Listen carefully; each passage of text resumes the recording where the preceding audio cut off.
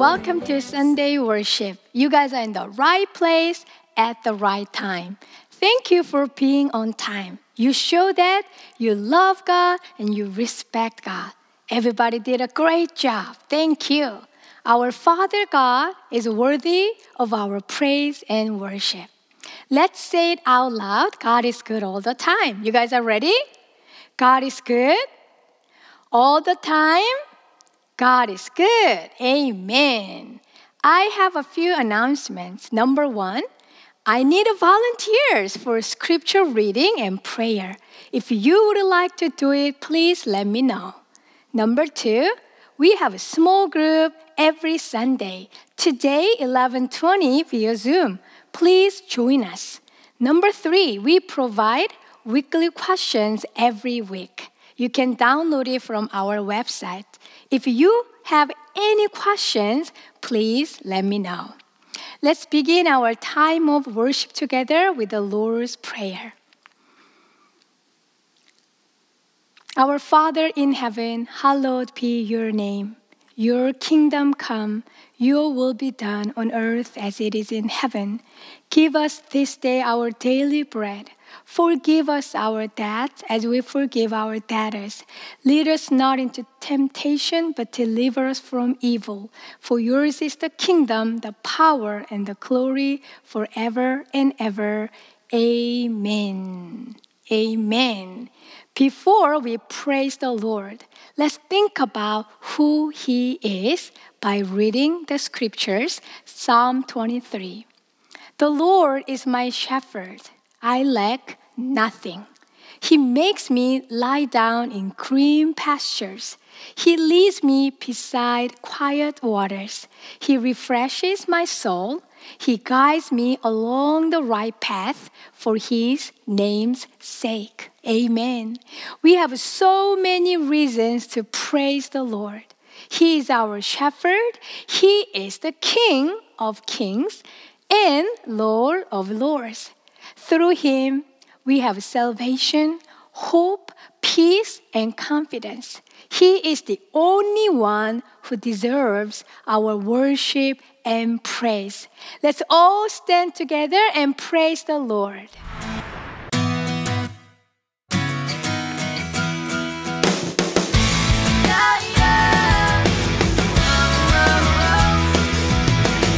I like to think about the goodness of the Lord. He gives me everything I need and so much more.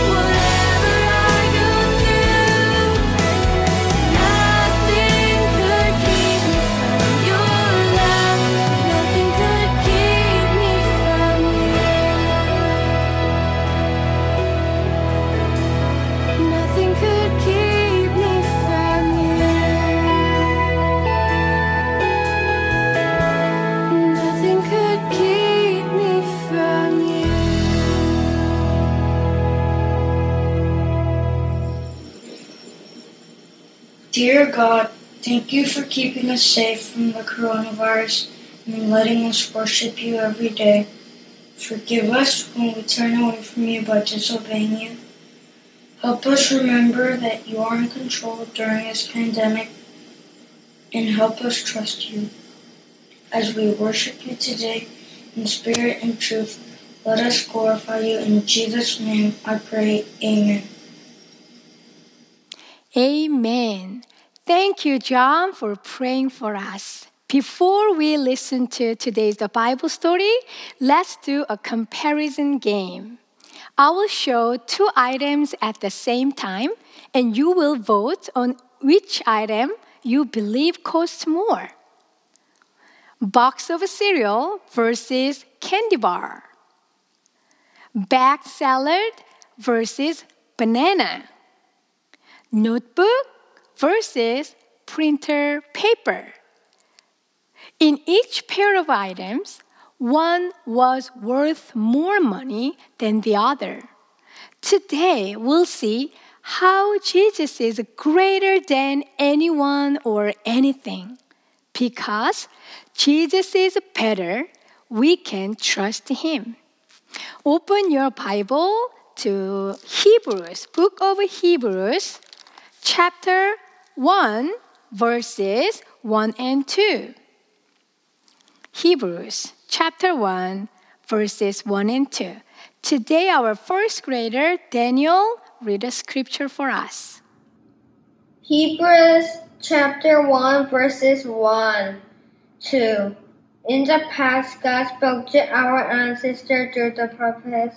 He spoke to them many times and in many different ways. And now, in these last days, God has spoke to us through His Son.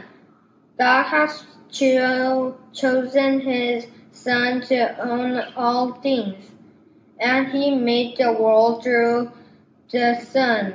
Amen.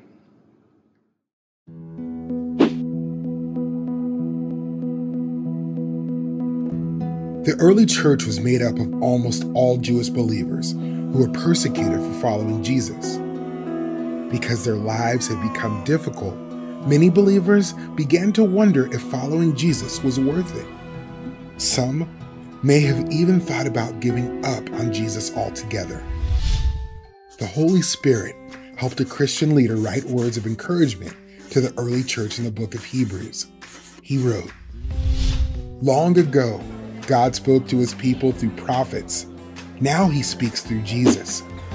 Jesus is God the Son, and he is like God in every way. Jesus is better than angels because he is God's Son, the eternal King and creator of everything who sits at God's right hand. But Jesus humbled himself to become lower than the angels for a time when he became a man. Jesus became a person like us to die and then rise again. Jesus' work rescues people from sin. All who believe in him become his brothers and sisters. Jesus became like us in every way so he could become a merciful and faithful high priest for us. Because Jesus suffered and was tempted, he is able to help us when we are tempted. This is why Jesus is the greatest. He is greater even than Moses, who was a faithful servant of God. Jesus was an even better servant. God used Moses to bring the law to his people, but God used Jesus to bring the gospel. This is why we cannot turn away from Jesus. Instead, we need to encourage one another each day so that we don't give in to sin. We don't want to be like the Israelites who Moses led out of Egypt and then rebelled against God and perished in the wilderness. The Israelites wanted a land of rest, but even Joshua could not provide rest for God's people.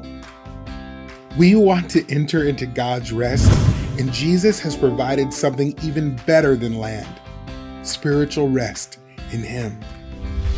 Because Jesus is such a great high priest for us, we can hold fast to our faith. Jesus knows our weaknesses because he became a human and was tempted although he never sinned. Because of Jesus, we can approach God with boldness, and God will give us mercy and grace. This is why Jesus is better than anything and why we cannot turn away from him. The first covenant that God provided through Moses has been replaced by a second, better covenant through Jesus. Salvation is found only in Jesus. Jesus is better than anyone and anything. He is the better prophet, the better priest, and the better king. Everyone who trusts in Jesus has salvation from sin through his perfect life, death, and resurrection. During our time together, we have been focusing on the question what is the gospel? This is a very important question because if we don't know the answer to this, we won't understand God's perfect plan to save people from sin. What is the gospel? The gospel is the good news that God sent his son Jesus into the world to rescue sinners. Amen. God's plan was not just to rescue certain kinds of sinners, but all sinners who have faith in Jesus. After Jesus' earthly ministry, his disciples and other followers continued to share the gospel. Jews and even Gentiles, like Cornelius and his family, came to know Jesus as their Savior. The good news of Jesus is for all people. The early church began to grow and spread, but believers faced a great deal of persecution and hardship. Many were discouraged. That is why people like Barnabas traveled to encourage new believers in their faith, like we studied last week. Christian leaders also wrote letters to encourage persecuted churches to press on and continue following the Lord.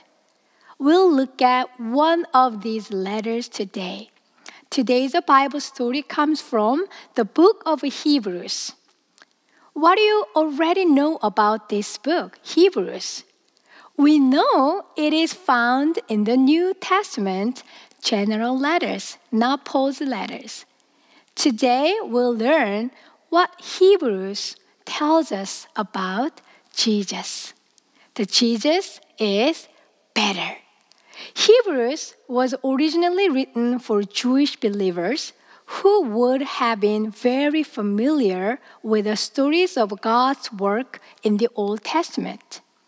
Throughout the history of Israel, God used different kinds of leaders for different roles. All these leaders helped to protect and guide the people to live under the old covenant.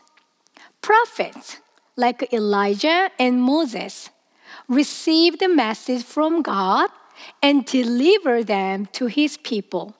Prophets are like messengers. And kings like Daniel, uh, David, and Solomon, help the people obey God by helping to enforce the rules God had given them and by ensuring the people had safe places to worship God. We already heard kings a lot. Priests like Aaron and Samuel acted as the go between to make sacrifices on behalf of the people. The priests offered sacrifices for sins and communicate with God on behalf of the people. They spilled the blood of the animals needed to pay for sin. Priests are mediator. A mediator is someone who goes between two people or groups of people to help them communicate. Jesus is the perfect prophet, priest, and king. He is better than any other leader, and he perfectly fulfilled all the roles, all the duties of all three main kinds of leaders. Do you remember the three leaders? Priest, prophet, priest, and king. Jesus, our great high priest, brought a better covenant. A covenant is a special kind of promise, agreement, often between God and humans. God made the first covenant with his people through Moses when God gave the Ten Commandments. That's an old covenant. In the old covenant, people had to offer sacrifices again and again to cover their sins. But we have a new covenant, not old covenant. We have a new covenant because of Jesus. In the new covenant, Jesus' perfect sacrifice is enough for all sins forever. In the old covenant, people who had faith in God's promises still had a burden of the law weighing them down, reminding them that they could never earn God's love. It's a burden. But in the new covenant, Jesus' perfect righteousness frees us from the burden of the law. We can rest in God's love for us knowing that we are saved by faith, not by works. Do you remember? Right before Jesus' death on the cross, he declared, It is finished, conquering sin once and for all. When he died, the curtain in the temple torn from top to the bottom. That curtain separated the Holy of Holies from the rest of the temple. Do you know what the Holy of Holies? The Holy of Holies is the place, the part of the temple where only the high priest could go. But Jesus' death allowed people, all people, full access to the Father. The curtain was no longer needed, and neither were the priests. Jesus is better than Moses. He is better than any prophet, king, or priest who led the Jews. God once spoke to his people through prophets. Now, he has spoken through his son, Jesus. He once led through kings, but now we are led by the King of Kings. Who is the King of Kings? Yes, Jesus. People once had to communicate to God through high priests. Now, because of Jesus, our great high priest, we have a full access to God through prayer. It's a blessing. Why did the writer, author of the book of Hebrews say that Jesus is better than anyone and anything? Didn't the readers already know this? They knew that at first. But when they faced great hardship, persecution, they turned away from their faith. They forgot who Jesus is. The early believers faced great hardship and persecution because of their faith. In their frustration, many believers considered whether following Jesus was worth it. Christian leaders wrote letters to encourage the leaders, the early believers, with the truth that Jesus is better than anyone and anything. He is the better prophet, the better priest, and the better king. Everyone who trusts in Jesus has salvation from sin through his perfect life, death, and resurrection. As the church, we are the church, right? As the church, Jesus calls us to share the gospel with the world. Jesus is the superior solution to the problem of sin. He is all that is needed for salvation. Jesus is better than anything and anyone. He is faithful, unchanging, and always keeps his promises. He alone is our source of hope and peace in times of trouble. We have salvation through him and confidence of eternal life with him. We all need Jesus. Guys, don't forget, Jesus is better than anything and anyone. Let us not turn away from Jesus. Let's pray together. Father God, thank you for sending your son Jesus, the better prophet, priest, and king. Thank you for sending him as the perfect sacrifice for our sins. In him, we have a victory over sins and death. Our hope is found only in you.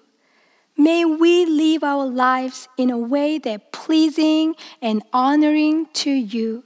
In Jesus' name we pray. Amen.